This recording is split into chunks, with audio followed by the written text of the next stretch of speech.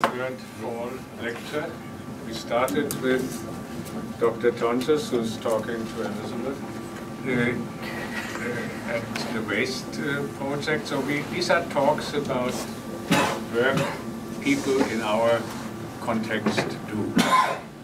So it started with Professor Tonjes, it, continued with Monica Bugallo on engineering education. And now we have uh, Dr. Woodson speak about his research. And I will very quickly uh, just outline that. Thomas started as an electrical engineer. And as so many uh, engineers, he started with an interest in the gadgets of engineering. So he wanted to build the newest and use the newest and probably also play with the newest things that were around. And then he studied and he got to the university and he uh, looked around and, uh, and somehow he realized that actually his main or his a stronger interest would be to see what technology does to society. And does it do what technology could or should do to society, namely improving society, or not? And that became then basically a question that is in the title of our department, right? Technology and society. And in order to follow, I mean, having the, having the electrical engineering background, but to follow this interest, he studied what is called science policy. Uh, because that's a, a natural consequence that you say, look, I mean, maybe technology and science and science and technology needs also a little bit of nudging in a certain direction so that it becomes useful for society. Because when you look who uses technology, who advances technology, well, universities do, but they have academic interests.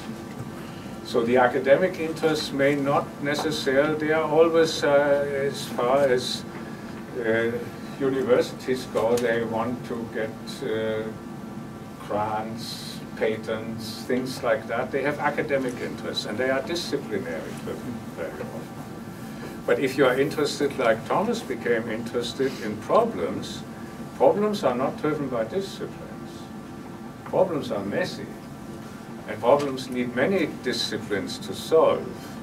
And, uh, and if that's the case, then maybe something like policy direction could move uh, science and technology advancement in a direction that is fulfilling this interest in improving society. So that was basically a kind of maturing of your thinking and interests from being focused on technology in opening up, focusing on technology and society, and bringing in the one of the tools that human societies have, namely policy, policy making, and that's then called science and technology policy.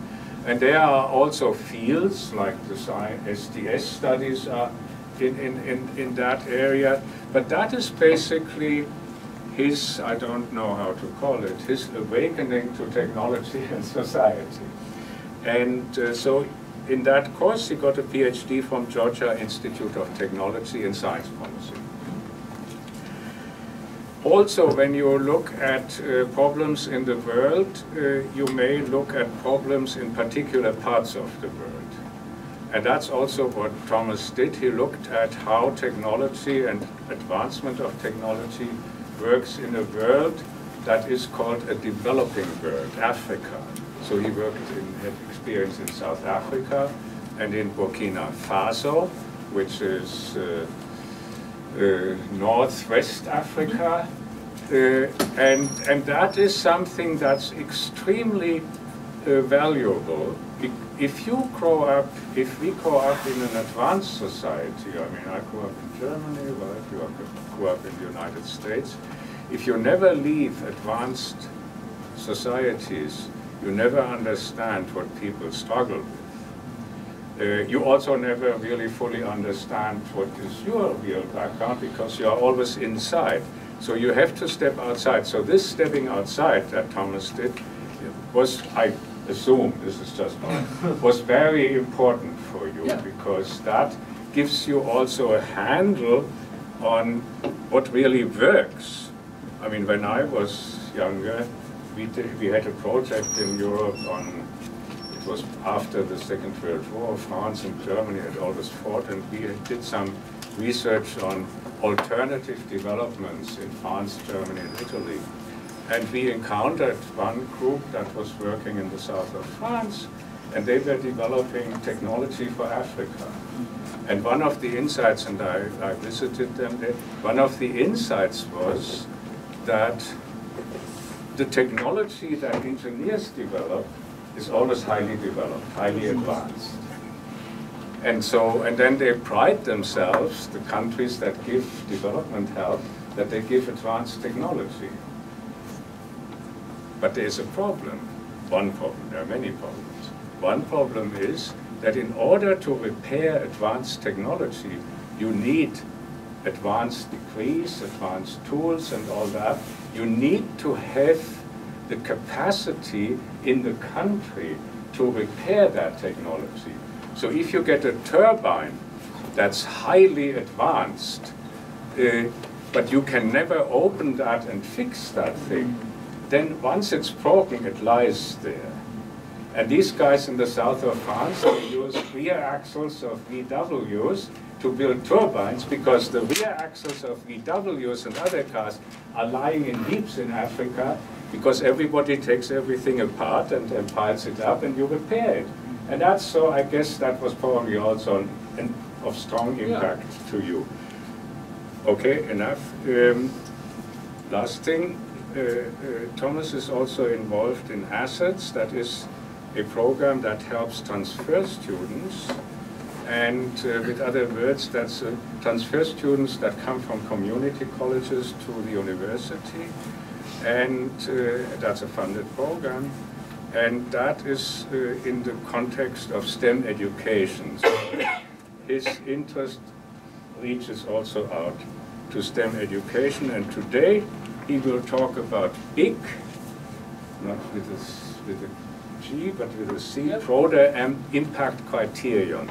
The NSF, that's our supreme funder in, in the College of Engineering, the NSF wants all PIs to add broader impact to their proposals. Because the NSF also realizes it's not enough, uh, or as we say, engineering has become much too important to be left to the engineers. They have to think beyond the narrow focus on advancement of a discipline and technology. And as you can imagine, if you add to a discipline or a field that gets funded for its excellence, a broader impact, which is in the title of that, then the PIs that write these grants think, so what can I add to that that makes that, I mean, that makes sense? And it's, but it's like a second thought very often. Um, and now here, Thomas, uh, is engaging in a funded project by the NSF to actually probe into that uh, broader impact criterion. So yes, this is very nice that you have that incentive and that you have that interest in having a broader impact of your research, but also question does it do what it promises? And that's what you will tell us more about today. Yes. yes, thank you. Well, thank you so much, Wolf. I do appreciate you allowing me to speak today. I know most of you here, but there's a few people who haven't had a chance to interact with very much. So,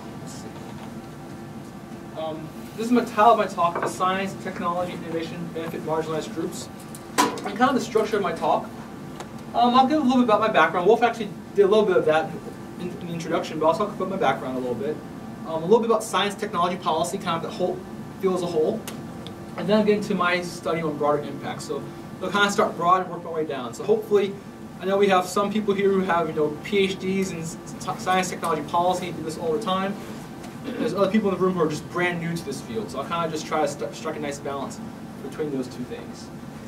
So first, as Wolf was talking about my background, Uh, my first degree was, was electrical engineering from Princeton, and my PhD was from Georgia Tech in public policy with an em- emphasis on science policy.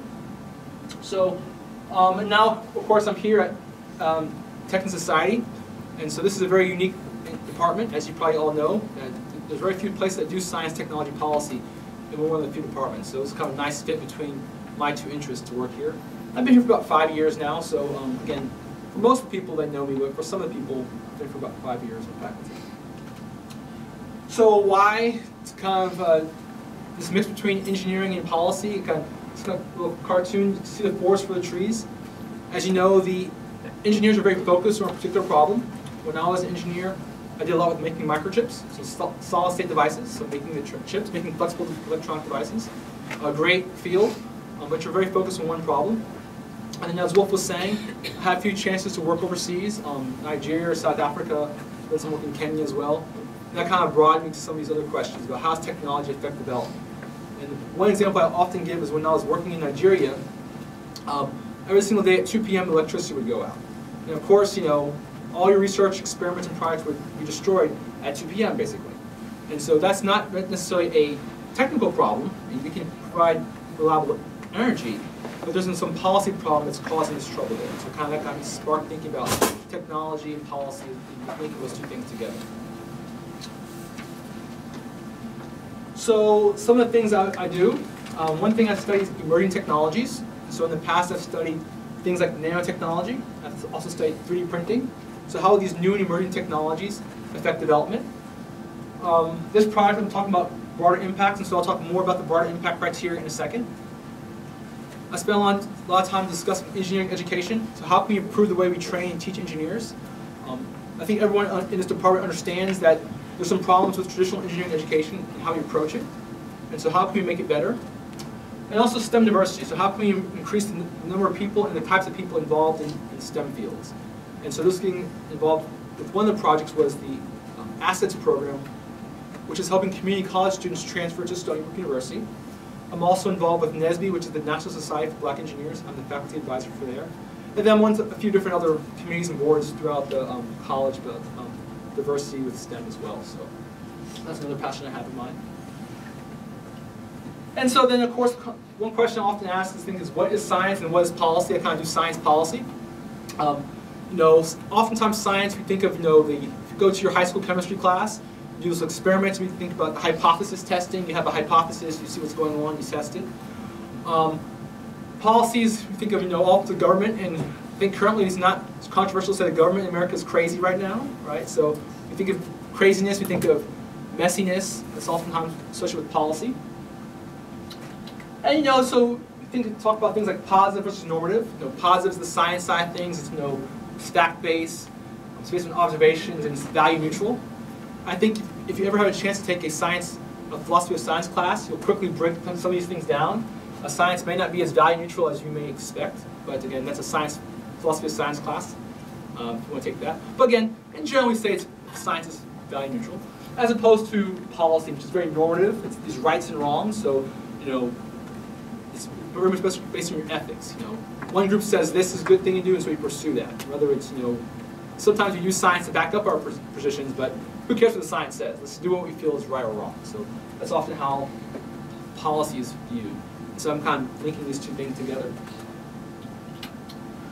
This is one definition of science policy. Uh, science technology is concerned with the allocation of resources for scientific and technical development and uses science in connection with problems in the public sector. So that's one definition by Deborah Stein. Um, you know, it's a pretty good definition um, that I like to use. Um, here's some recent headlines doing science policy to see how where, where I sit in this world. This came out with The Economist, I think maybe about a, a year ago. Modern love, dating in a digital age. So you obviously see some science here, right? There's this digital age technologies, and then there's dating. So how does what kind of policies should be put in place? Um, should the government get involved with this at all, or should we just let it be wild wild west? At some point, there probably is some policies there with you know, protecting children from you know, predators and those type of things, and so you got to think about science policy in this context. Here's another headline in the New York Times. Microwave weapons are prime suspect in, in ills of USA embassy workers.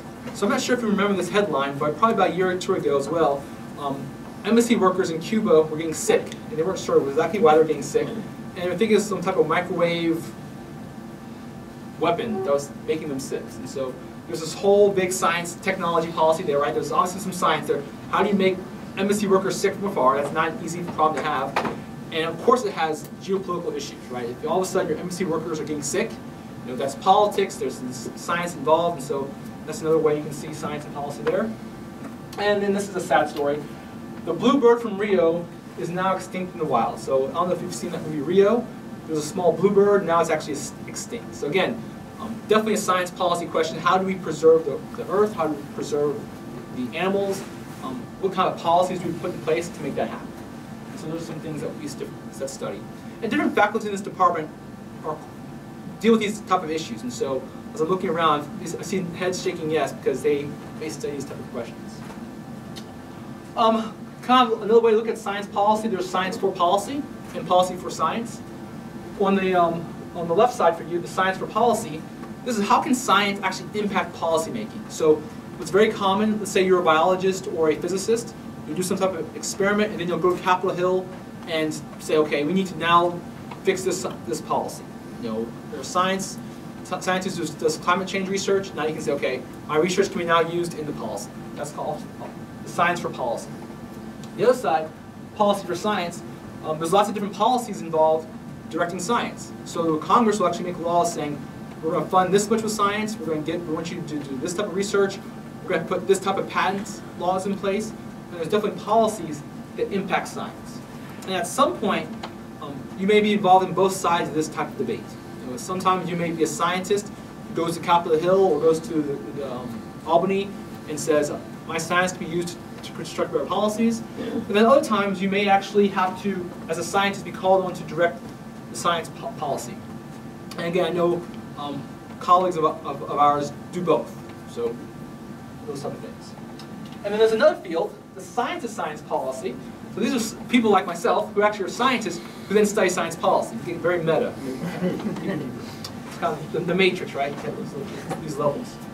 And so this is actually a directive within the National Science Foundation that studies science and technology policy. And so some of my research money and grant money comes from the SciSIP organization to study science and technology policy. So what types of things should we do in order to improve science policy? So who's saying that? See what time it is. Let me make sure I don't want to go over time. Okay. A brief history of science policy. Now, obviously, we have a real historian in the room, so I'm not going to go too much into history of science policy, but this is not a new thing, per se. So if you go back, you know, to ancient history, you know, ancient science policy, there's obviously some science policy building the, the pyramids, or some science policy here.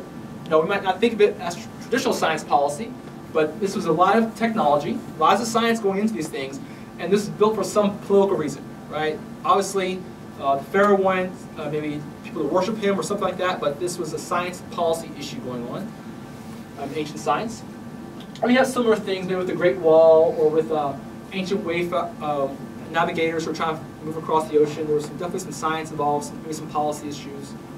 Um, the first real science policy as a field to get started was kind of around 1939 to 1945. Um, what was happening in that time period, you know? World War II, there you go. So, so World War II, um, and really science was kind of a champion in World War II. Kind of, science kind of won the war. Um, we talk about the nuclear bomb, talk about these fire jets, and so these dorky, nerdy people were kind of heroes during World War II. And science policy really got a big boost during World War II because it was such an influential part of fighting, fighting the war. And so you may not have seen this person, if you took EST 600 a long time ago, um, you know who this person is? Vannevar Bush, right? Vannevar Bush. Is, so um, Vannevar Bush wrote this, um, this little letter to the president talking about what to do with all this science and technology after World War II. We developed all these weapons, we developed all these different um, techniques, um, operations research, that kind of thing. Does it stay in the military behind closed doors, no one has access to it? Or do we open those doors and have so the whole world uses technology. And Vannevar Bush was really pushing for more open access. He was pushing for the research to get out of the, the bunkers. He was pushing for more education, broader education, and he was pushing for some type of science organization, like to you know, the National Science Foundation, for example, some type of science, national science organization. So that's what Vannevar Bush was pushing. in 1945. And then, of course, now we get to today. Um, science policy is, you know, very mature. You have things like this. Um, could Ukraine have the next Silicon Valleys? Everyone wants to be Silicon Valley. Silicon Valley is kind of this, this you know, great place, great example of innovation. Everyone wants to be Silicon Valley. So, you have, can Ukraine be Silicon Valley? Um, Silicon Savannah in Kenya. Can Kenya have the next Silicon Valley? And then, of course, uh, Vietnam, right? So, kind of all over the world, no matter where you go, people are talking about Silicon Valley, becoming innovative, developing technologies.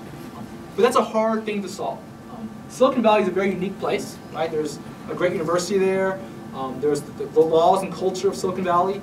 Um, there's nice weather. I mean, it's actually nice to live in California. Um, you know, it's kind of hard to pick that up and move it to, to Ukraine or to Kenya or to Vietnam. Vietnam. That won't happen overnight. But lots of science policy scholars study that topic as well. So I'll, I'll briefly talk about the current landscape of science policy. And then after this, I'll go into my personal study, what I'm doing. So let's look at the current landscape of what's happening. So if you kind of look around the world, um, who's doing the most research and who has the most funding?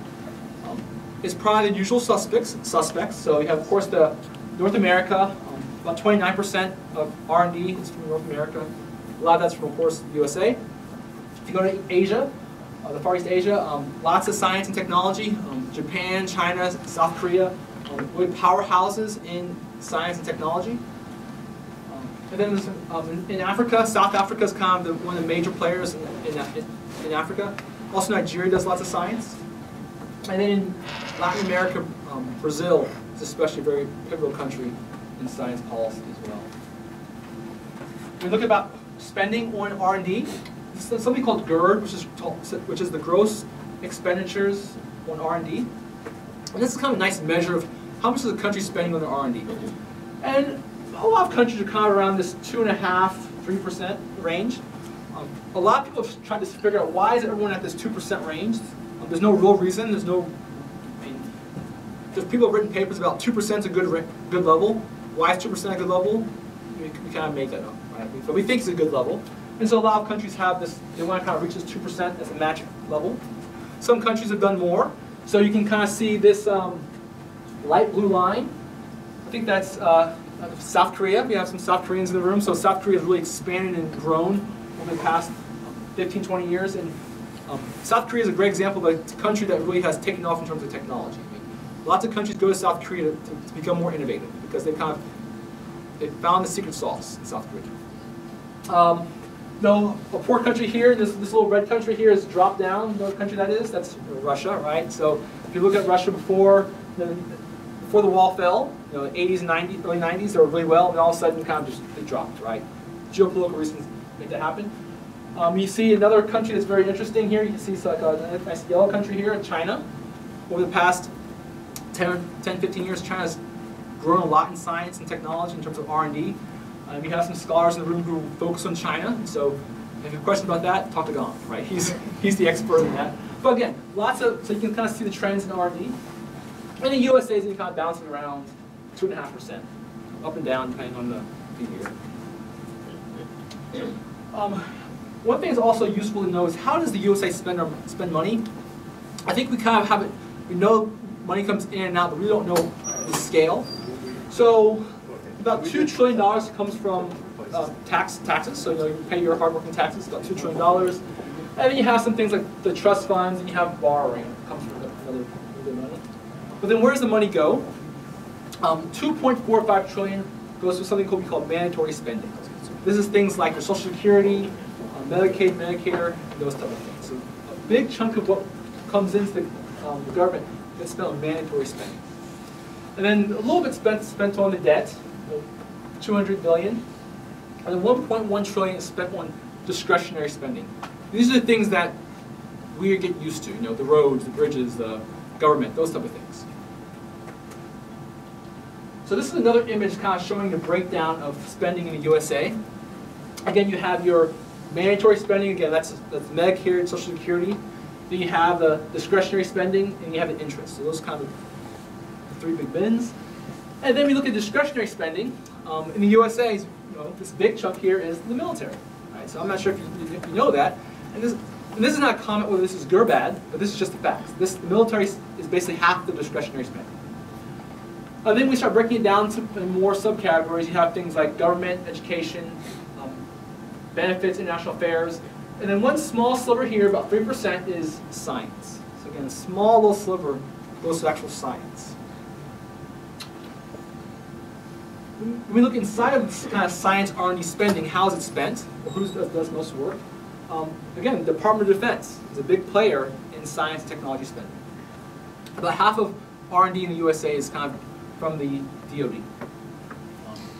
And then HHS, which is basically the NIH, the National Institutes of Health, they're about a quarter.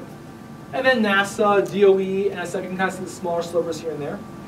So again, this is, this is relevant for a lot of faculty in the room and people in this room, is that um, in terms of funding, the DoD has lots of funding. And so when we try to get grants, often the DoD is a big pile of money that we should kind of go out for. And then things like the NSF, which is a much, much, much smaller bin of money for us to get research. Um, there we go.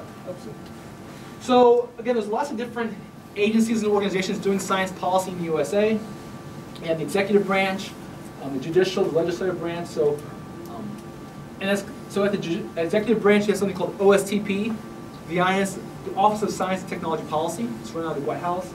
Um, the bureaucracy, so the, N, the NIH, the National Institutes of Health, the NSF, kind of all come out of the executive branch. Um, the legislative branch, you know, they are the ones who give the money out. So they're very important in setting the agenda for science and technology policy.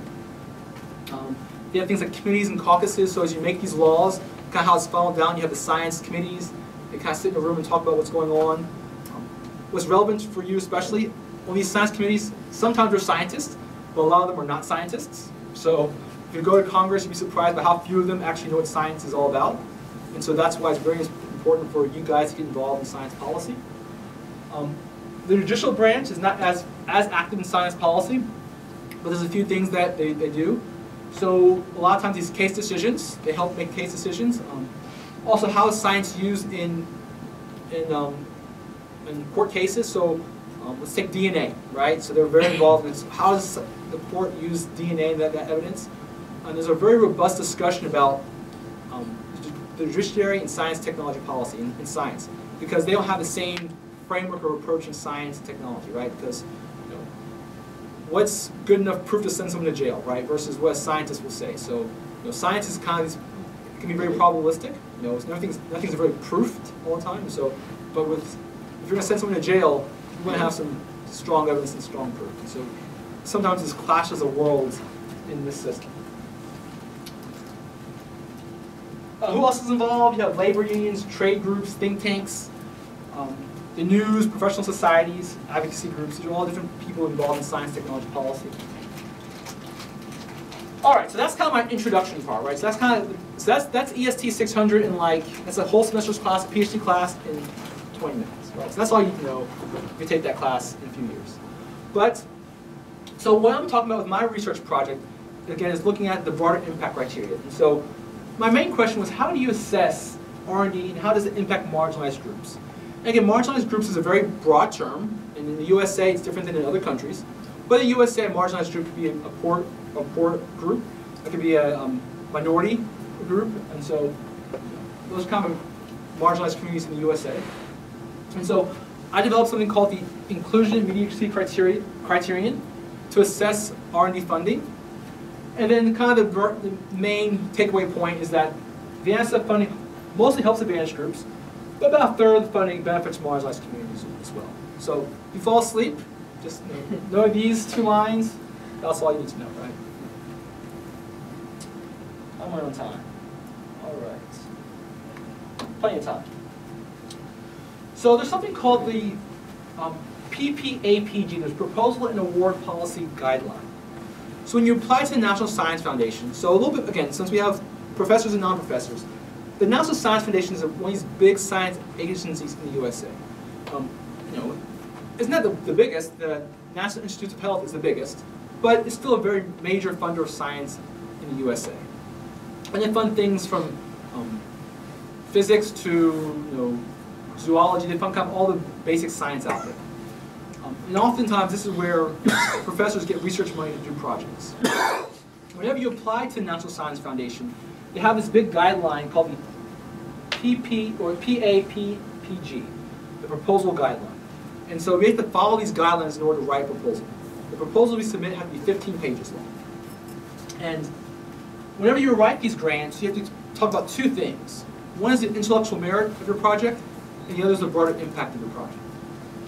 The intellectual merit is very understandable. You know, what, how does this research you know, improve knowledge development?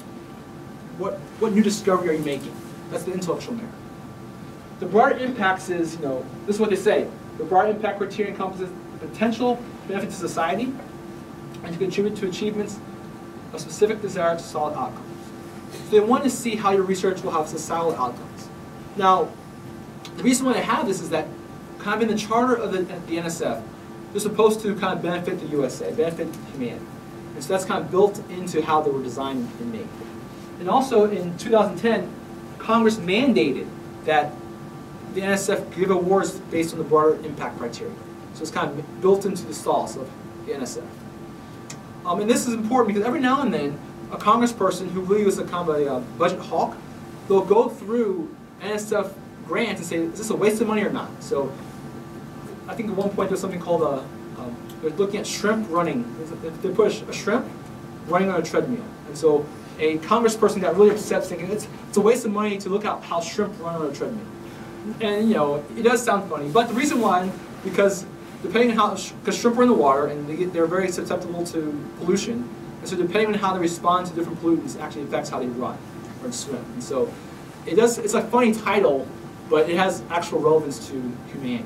But if you're not careful, a politician will see that and say, you're just wasting our money. Give it to something else. And so the NSF really emphasizes broader impacts. There's lots of complaints about these broader impacts. Um, one is that's a very vague and ambiguous standard. But again, basically the only guidance you have is this one or two sentences about broader impacts. And so you want to, to judge a whole proposal based on one or two sentences. There's not a lot of information there. Um, for some people, it's hard to get grants, especially for junior faculty like myself. So if you are a, um, a great scholar, you know, a senior scholar, if you have a full, couple full professors, you have Todd and you have Wolf, right? They have been doing this for a long time, for 20, 30 years. They can write good grants, they can get lots of good money. And so they have the bandwidth to do broader impacts. As a junior faculty, I'm not as skilled as they are. I just don't have the time to really get these broader impacts. And so if my research is based on broader impacts, they're going to get the grants because they have the, the, the ability to do broader impacts more than I do. Um, there's some philosophical roots wrong with this broader impacts thing. Um, one said you should not judge science based on the broader impacts. Um, you should only focus on intellectual merit. And a classic example is looking at maybe Bohr, you know, Niels Bohr, kind of these early scientists when they're developing the, the atom. They had no clue that the atom would turn into, atom bomb into electricity and all that kind of stuff. They're just looking at the basic structure of matter. So they had no clue about the broader impacts. But if the government was only funding something with known broader impacts, they would have never been funded to, to do this research. So someone pushed back on that way. Um, the broader impacts model is often based on a flawed linear model. Um, I didn't talk much about the linear model, but this is another thing to learn in some of the classes I teach. Science goes from basic to applied to you know broader impacts, kind of step-by-step -step process. Science doesn't quite work that way. There's these loops and these feedback loops, and it's not just one nice straight process. And so often this broader impact model is based on this idea that you know you do some research, develop it, and it comes out to broader impacts. It doesn't quite happen that that way. Um, peer review is a bad way to assess value. So also for background sake, so whenever you apply to National Science Foundation, it's the way that grants are determined whether you give money or not is based on peer review. What peer review is, is basically what happens is that a group of scientists, let's say 15, 20 scientists, will get into a room together and then they'll discuss the pros and cons of each of the grants. And the ones that are the best grants get funded, the ones that are not the best grants do not get funded. So that's kind of the peer review process. And that's a kind of a core way that science is judged um, um, nowadays. And so whenever you apply for, whenever you um, submit an article for a journal, it's peer reviewed. And whenever you apply for money, it's also in this peer review process. So. Now, the reason why this could be a bad way to assess broader impacts is that when you're sitting in these rooms for peer review, no one's an expert on broader impacts.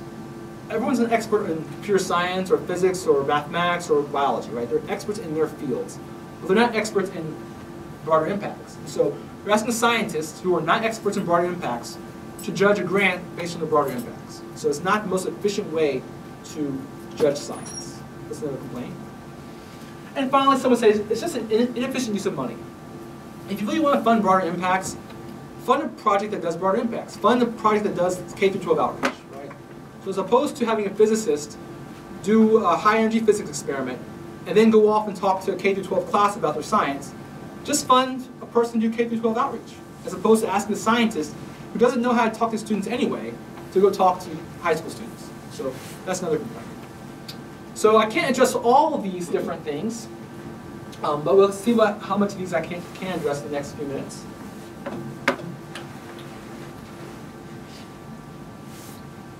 So what this chart is, this is often how broader impacts are currently judged. There's about eight different categories. You have things like infrastructure for science, and so, you know, let's say you're a scientist who creates a new type of data set or new type of microscope.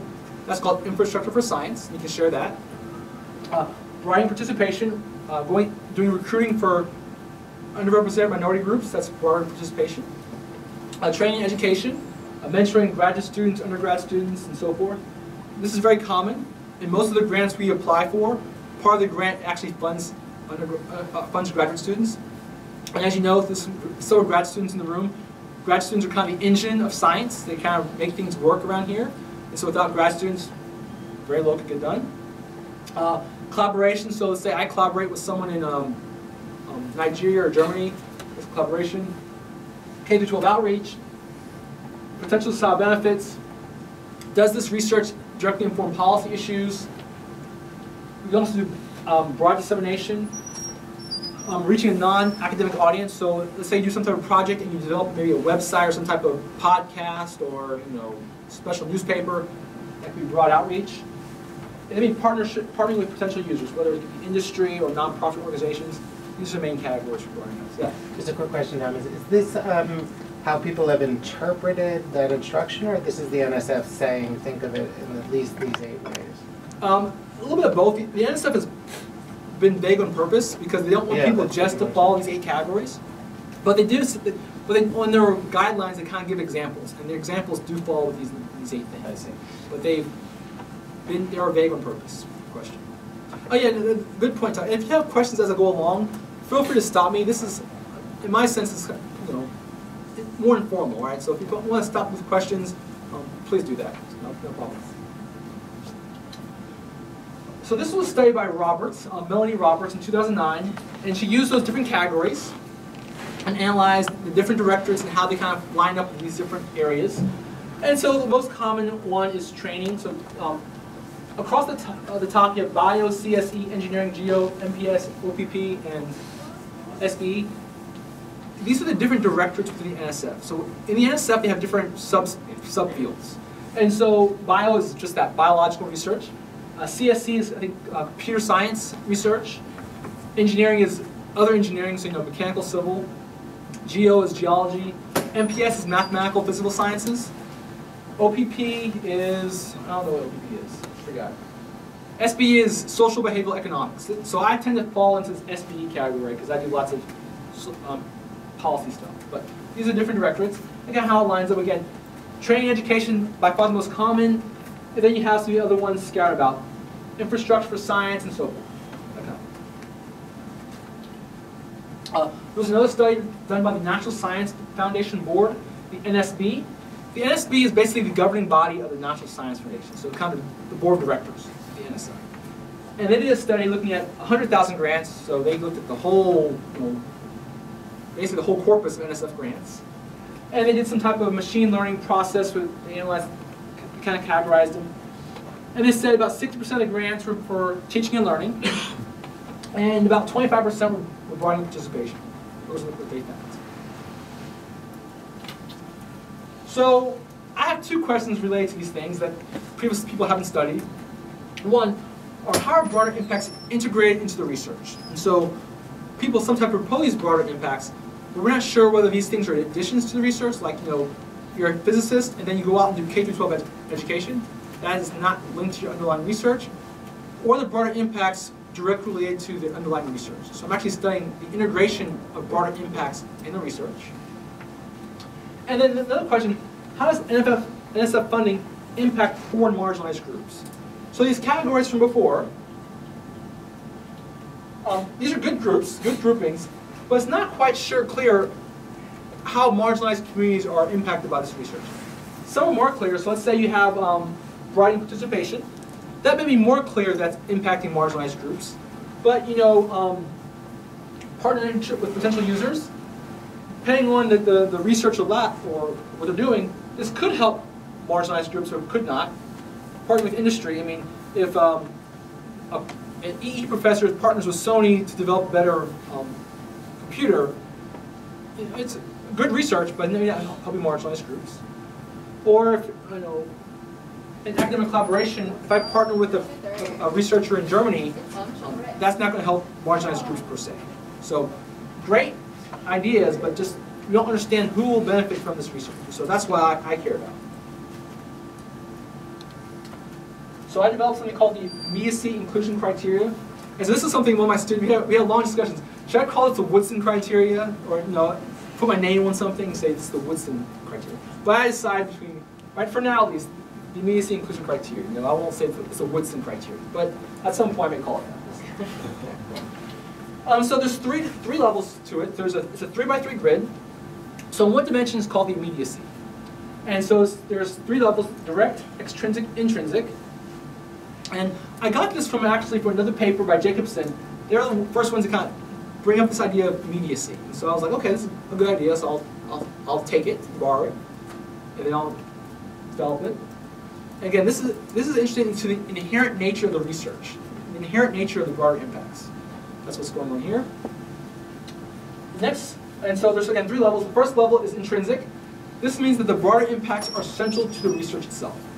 And here's a picture of something called the malaria vaccine.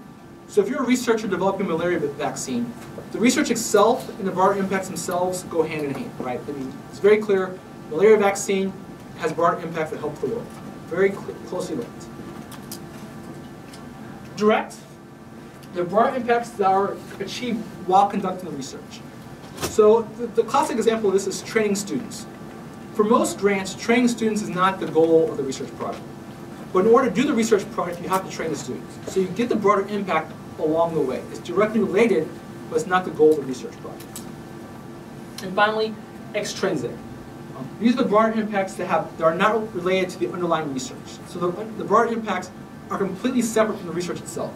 And uh, let's say this is a little classroom. So again, if um, I pick a Tonjas right there. So if Tonjas decides to go out and uh, he's sleeping, so I, so I'm picking on him.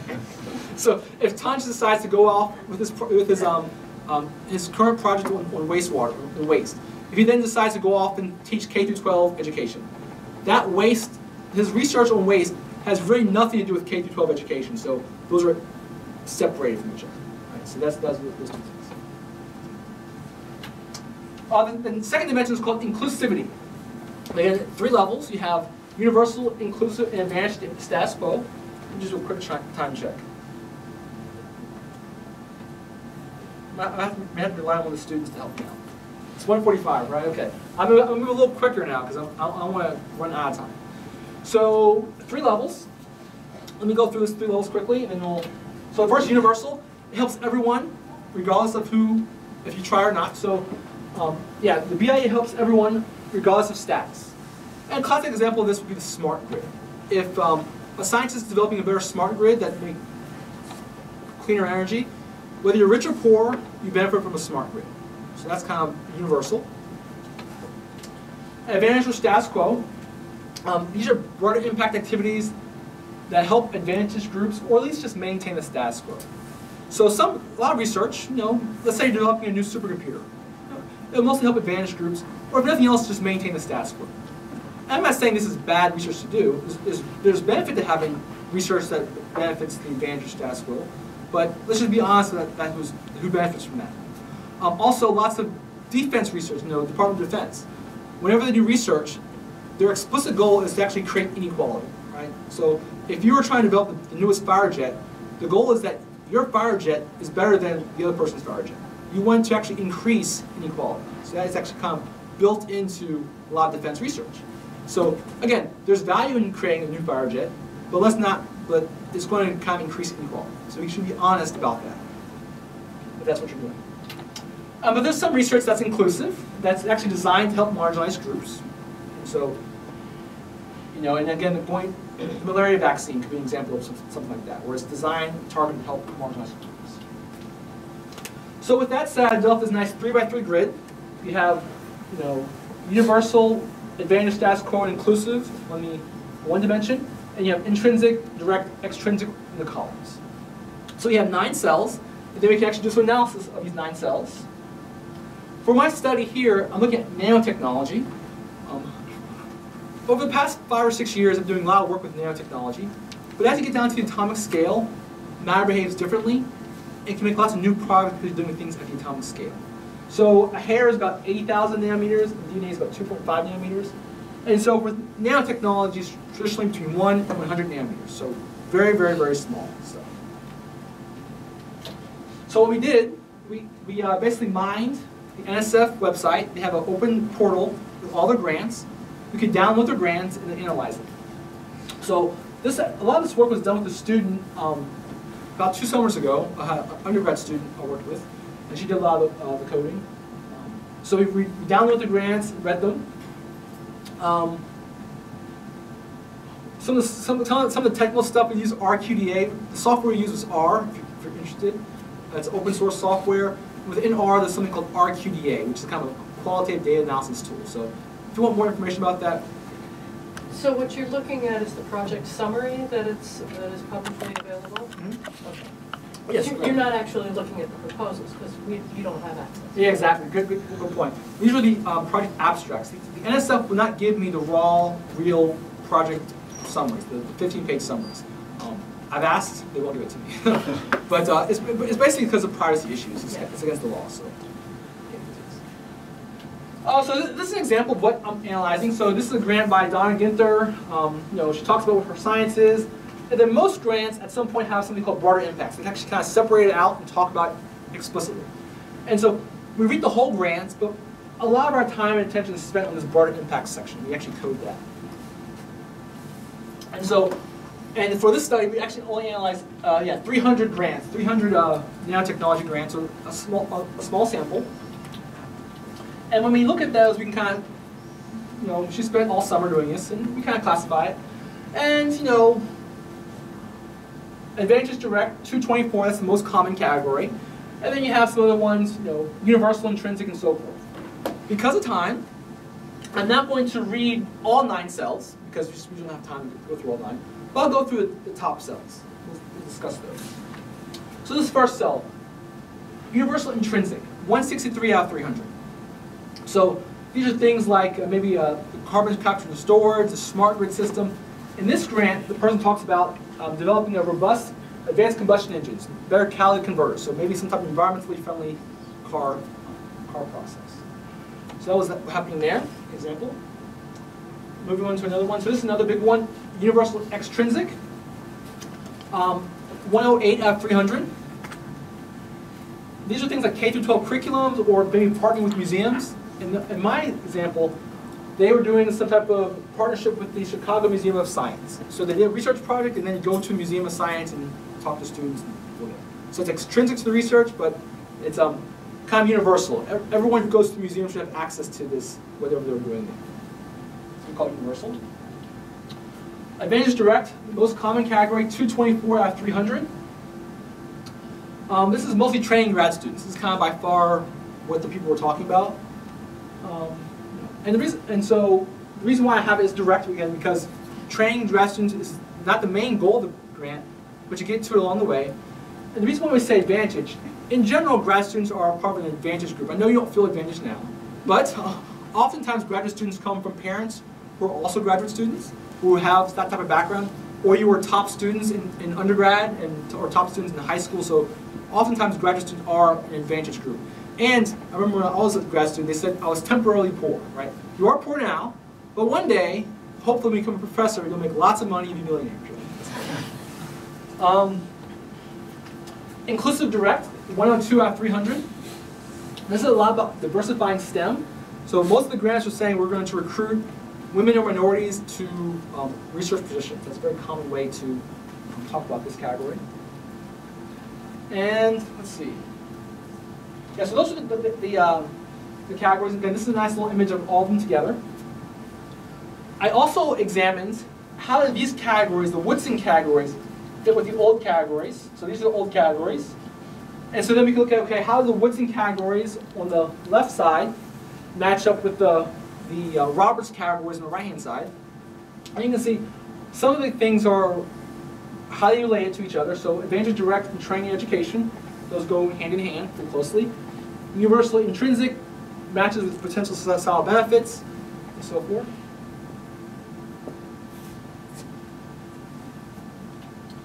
So some challenges we had. Um, some things were hard to code.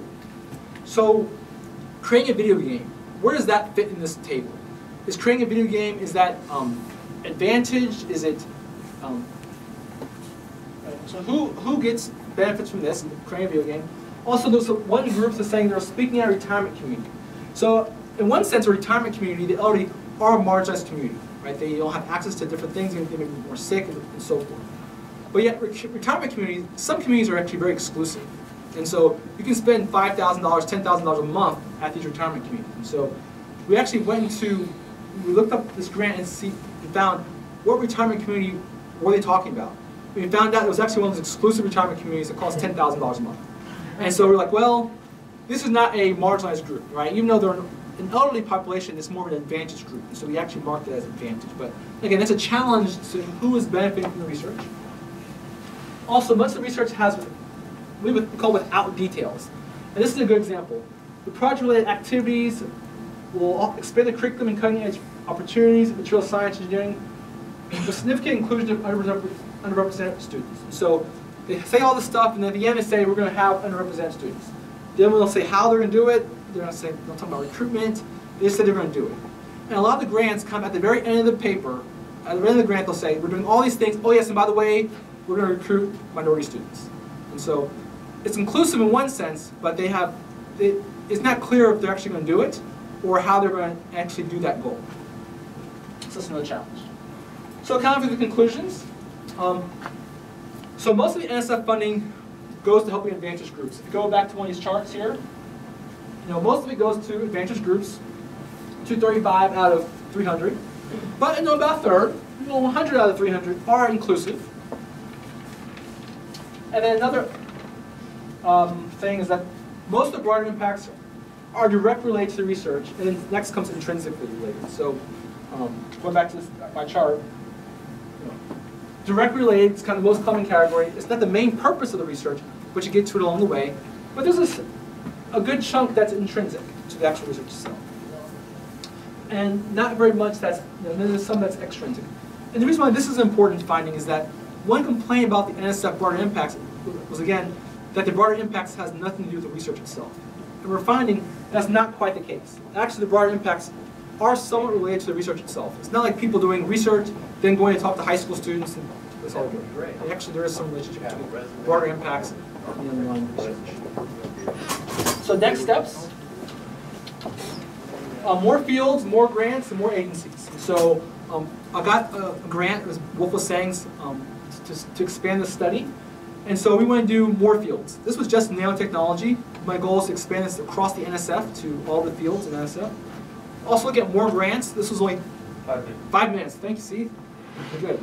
Um, I'm almost done. Uh, more grants. We, we want to do um, not just 300, but you know, say 1,000.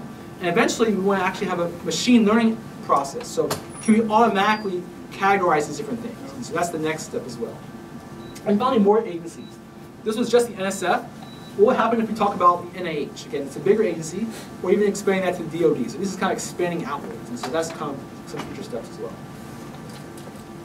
Uh, questions? I'll stop there.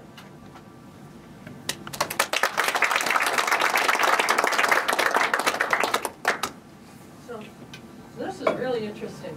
Once you start expanding into these different fields, you imagine uh, doing a correlation and seeing Uh, Are there particular agencies um, or or subdivisions within NSF that are Exactly, exactly. funding more of this type or that type? That's exactly the goal. So you can imagine that some fields, I'll pick on, a, um, let's say pure mathematics. I mean, maybe pure mathematics is the way the field itself maybe, not has many broader impacts, as opposed to, um, you know, people who are maybe economics or um, something like that.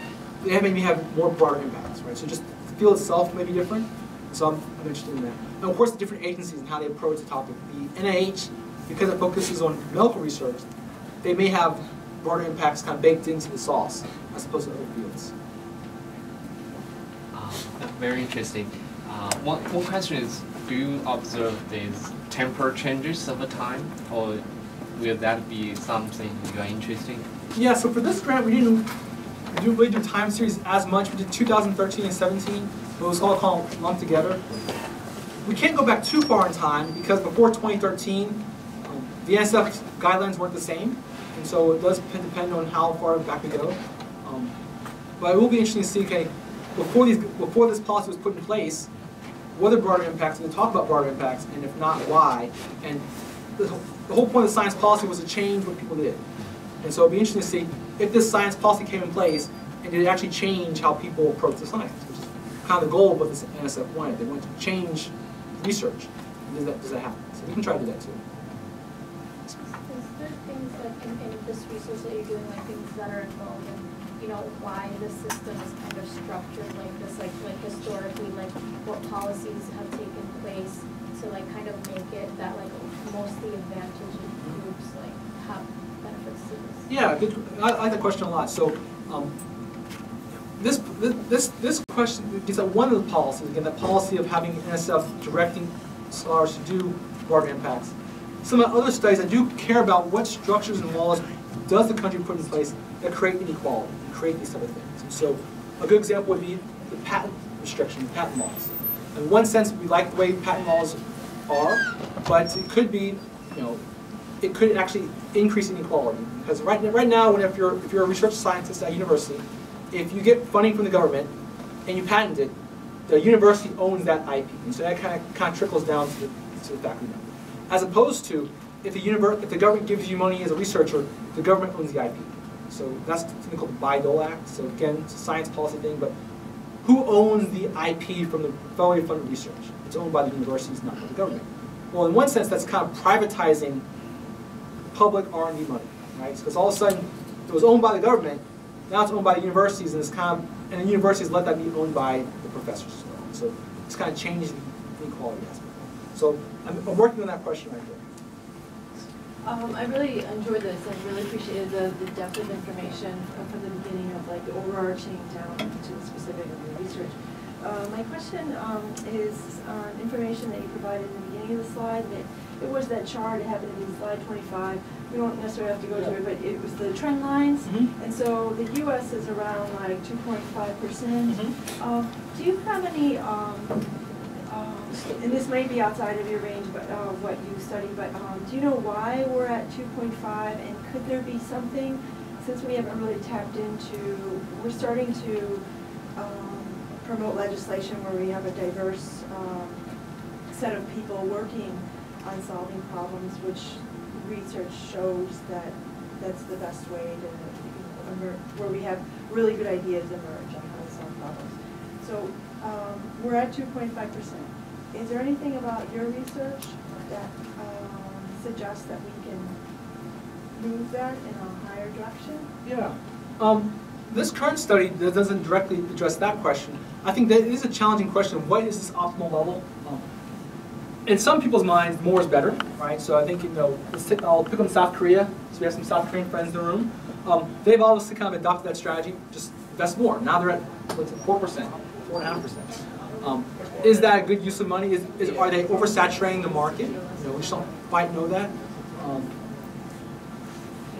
I, I'm trying to think of ways you can even test that. Maybe you can look at, you can look at publication rates. You know, that's one way of testing research output. The more money you get in, more publications that come out. Does that mean you're more innovative? Well, the more money you put in, the more companies that come out. Is that a way to measure it? So scholars are trying to measure those relationships. And I think a few um, people in this room, that's kind of the research question, right? How do you actually increase innovation in these countries? Is it money? Is it the patenting laws? Is it some other things? Um, but yeah, we're not.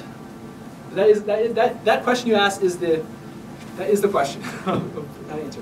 It's, Um, Two comments. One, on that last point, I thought you were pretty persuasive before, that just the fact that it's remained so constant suggests it's really science politics and not science policy. yeah. Because you just wouldn't expect over such a broad range of, of economies and socio-political contexts that that number would have stayed so close. The, um, I guess the question or, um, sorry, and I want to give an example. The, um, I guess what I'm wondering is it seems that in this inclusion criteria, there's a certain hubris, Mhm. which is that people are going to be able to anticipate the impacts that things have. And I'm wondering how much your research is simply re- rewarding, and I understand why you're contingent on the forecasting, but let me give you an example. Um, so let's say I propose to you a study, and I'm gonna come up with a brand-new formula. And it's gonna be a formula that's, I'm choosing this for a reason which I think is gonna become clear to you quickly. But it's gonna be, um, you know, it will prevent malaria, it will be readily available, it'll be shelf-stable. And by the way, I'm gonna distribute across Africa free of charge um, you would reward me for that Mhm. because the technology is inclusive and so on and so on. And yet, if we go back to Nestle's fiasco in Africa and transitioning African women off formula that relied on water that was contaminated, and by the way, added a household expense to something which for centuries had been, you know, so I guess what I'm wondering is, is it really social impacts or is it anticipated positive social impacts? And could you ever imagine a way that NSF could truly be looking at negative impacts? Because, I mean, another example would be lead. You know, I say I'm gonna come up with a new paint. And by the way, it's gonna be cheaper, last longer, and it's gonna be great for urban context. Yeah. And then all of a sudden, a generation later, you have communities getting hit by lead poisoning. So, so how do we move this inclusion criteria so it's, Yeah, I mean, I, I like those questions. I wish I had answers to all, these, all the questions. I Yeah, think- no, no, it's yeah. just I'm It- it- grappling it's, it's a challenge you have. So when the NSF is trying to kind of gets back to some of these core que- core um, cri- um, let's see if those core roots of these problems of why t- how can you do this like how can you understand the broader impacts like I think it's like you said it's hard to understand the broader impacts in the first place so as a scientist who's proposing a project how do you even know your broader impacts yet? Um, you, you don't know a lot of times. But yet, the challenge is that the, the Congress, in, in, their, in their wisdom, have said, you gotta do it. Right? So they've said 2010, you have to have these things. How do we best do it? So that, that is a challenge we face. So, but there it was, it's to benefit society, so Yeah. the, the assumption is positive. It. Exactly, so it's a, it's a positive bias, and they're not capturing the negative biases against technology as well, you're right. And so this is kind of this technology assessment issue, so how do you assess technology as it's being developed and, and being done, so. It's complex, right? You have to start somewhere, and, because if it was, if it was easy, we would already be done by now, right? So, um, it's a multiple factor problem. So, Herman had something? Yeah. Oh, yes. Uh, I have a question. So, uh, you may have mentioned it, but I'm sorry if I missed it. So, um, my question is about technical things. So you you mentioned you use R in order to uh, you know analyze. So I was wondering like how many researchers were involved in classify uh, the broader impacts, and also like uh, did you like do manual coding or you use any like machine learning or something to classify the words in the abstracts? Yeah, so for this project, it was used, um, one main researcher, she was an undergrad student, she did most of the classifying. Alright. I also classified it in this thing called intercoder reliability. Mm. So we checked the accuracy of her coding and my coding and make sure we're all on the same level. Also in the past, I've had other students working on similar, similar projects, some of the PhD students I've worked with. We've done similar things on intercoder reliability. So, uh, for example, Francesco's on a different project, similar, but a little different. We also did some intercoder reliability and stuff like that. So that's that question. Um, it was mainly coding it, so we actually read these things and coded it by hand. RQDA, the software, it's very similar to NVivo. I'm not sure if you've heard of NVivo. Somebody sh- shake your head yes. Or, um, but that's a software that's designed for qualitative data analysis. The reason why I like RQDA is that it's free. NVivo may be like a thousand dollars. So um, it's similar to NVivo.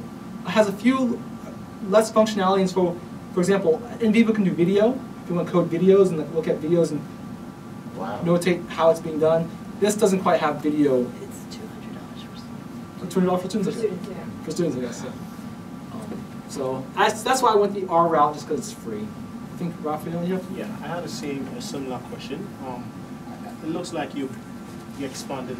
So my question to you is, I mean, let's say I read a broader impact, something that might, might appear as equal to me, like different. Mhm. So how you, um, I mean, how are you going to incorporate domain knowledge and then diversity in terms of, um, I mean, moving forward? Yeah. Have you thought about that? That's a, that's a challenge, especially if, you, if I start thinking about cross countries, because what's marginalized in USA is not marginalized in, um, um, I think, I think you're from Ghana, correct? Yeah. Right, so in Ghana, in terms of diversity in STEM, they have a very different field than diversity in STEM in the USA. So in one sense, this is, could be limited to the USA context, but maybe if you ch- change the definition, looking at marginalized, using that term marginalized as opposed to only um, low income or only you know, black and white, blacks and females, that could that allows us to be somewhat broader because each community does have its own marginalized group. So that could help with that question. Yeah, I have a follow-up to that. So in terms of um, um, evaluating like code, do you have a scale that you say, okay, um, let's say um, equality has a scale of, um, I'm evaluating it on a scale of say one to five, or it's just a yes or a no? This is a yes or no, and- but we do have a small check about um, quality in sense of with and without details. And Again, I told you at the very end, there's some that have very little information about what's going on. They just say, at the very end, come as a, as a last line, and we're going to recruit a diverse student, whatever else. Those are saying, yes, you're inclusive, but you're without details. And there's some that are inclusive with, they can say, we're going to recruit students from this high school, in this community, we're going to do all these different things, and that's inclusive and you give them details. So that's kind of that check step of quality. I want, I mean, what, what, it's very compelling in terms of uh, developing an analytical tool. Yeah. intrinsic, extrinsic, inclusive, etc. Um, But going a step further, I would like to know how successful are actually these projects in what they promised. Yeah.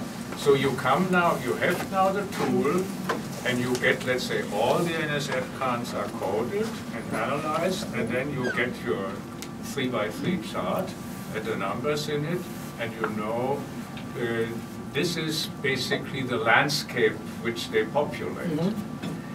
But now, of course, if I imagine I am NSF, I, or I am society, whatever, I want to know, can this now lend itself to assess if it's just BS, I mean that they have promises, right?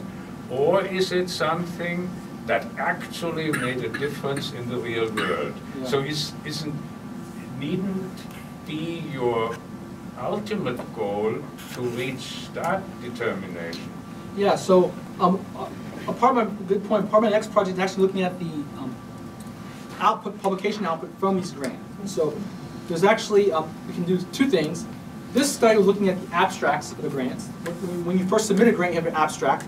And then at the end of the grant, you have the project outcome reports. And so for my grant that I'm working on now, we're going to actually analyze the project outcome reports to say, okay, what you actually did from this abstract. And that's also tied with the number of publications associated with the grant.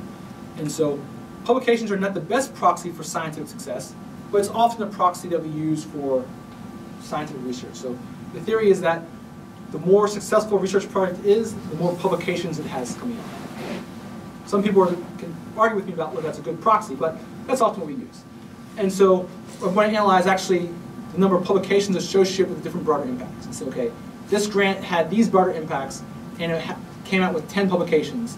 This grant only had these broader impacts, and only had two publications. And Is there some correlation between broader impacts and output? And also correlation between broader impacts and in the POR, the the outcome reports, to discuss it. See, Sanjay is anxious to push back. All right, go for Yeah, it. because, so, so, so I, what you're doing is you're rewarding a grant writer who knows how to talk the talk. Mhm. So, so, so um, someone who, who wants to develop a malaria vaccine, but they're inept. And, and so they don't spell out well what the, what the broader impacts are, is, is penalized as, com- in comparison to someone who, say, wants to build more prisons and, and, and writes it in such a clever way that they're going to be inclusive and, and, and, and And we are all inclusive. and and and and, and Yeah. the, the and and the person who writes the, the prison grant may may break his study down and, and produce twenty five papers, uh, whereas the person who writes the malaria vaccine writes one paper, but but saves a million people a year. Yeah. Um, so I, I don't you know proxies are are, are, are interesting Yeah. things, you know, and, and, and predictions. The, the other thing is, is making predictions is, is sometimes a fraught process itself. Um, you know, you don't, you don't necessarily know what's going to result from, from, uh, you know, what was Pasteur originally studying. It wasn't, Yeah. it wasn't, um, he wasn't trying to make, make uh, antibiotics. That's true, yeah. But if you know the limitations, right, of using, of using publications as a, as a proxy, can't you just discuss? But that's got this nothing to do with the information we impact. have, The broader impact. But you can still measure some of the broader impact from those publications, not for the wide breadth How? of. How? By, by account. So I have twelve publications versus three. What is that, what is, content how in, does the content in, you know, are they peer reviewed? What is, the, um, what, what has been measured? What are? well, they're all peer reviewed. They're all, you, you didn't talk about what their content, you, you just want Yeah. to count them. So yeah, so this is the issue. So how do you, how do you, if you're looking at, in terms of the output coming out, right? So the publications, right? So it's a, that, that, that could be the, my, the question, the research question is, are the, You're looking at the content of the publications. uh, for, right? for, the- for, for this part, a second part of the project, let's see. So this is, let's, let's, this is my, my nice chart, right? So, um, so let's say the grants, ones who have student training, they produce on average ten publications, and ones that are K to twelve on average produce two publications. My theory, my thought behind it would be that because things, broad impacts that are intrinsic or direct, it's kind of useful for your research. It's kind of incorporated into your research. Things that are extrinsic have nothing to do with your research, and so you have to spend more time and energy doing these these activities. And there is some studies saying if you know when you become a, a department chair, your productivity goes down because you no longer can do all your research. You have to you know, deal with people like me, right? It takes time for his day. Um, but not me. I'm a good person. but but for, for Tonjes, though, he takes time out of your day, and so all of a sudden productivity drops. And so there is some research saying that depending on eh, doing things that are extrinsic to your research will reduce your productivity. I'm trying to see is that the same case with broader impacts as well, where- extrinsic broader impacts reduce your academic productivity measured by research grants. Now, the challenge with that, I think Tom is a good point, is that if you're doing lots of broader impacts, some of your, your, you may not be producing grants, which is okay, maybe saving the world. So you can't measure saving the world from, you know, how do you measure that? You know, that's, that's a hard thing to measure. If you actually solve the problem, so there's no need to write a paper, you know, that- or, or you write one paper. Yeah. That you don't have, you don't have an, uh, your lab shuts down, and, and, and so you write one paper. then Or, you're or you work with the UN and you have a UN study. That's not traditional publication, so it does, it is a, a b- poor proxy. I will. Partial. Part, yeah, so. But how about the quality of the journal? I think it should have, So we definitely can do that. We can, we can, we could um, normalize it based on citations.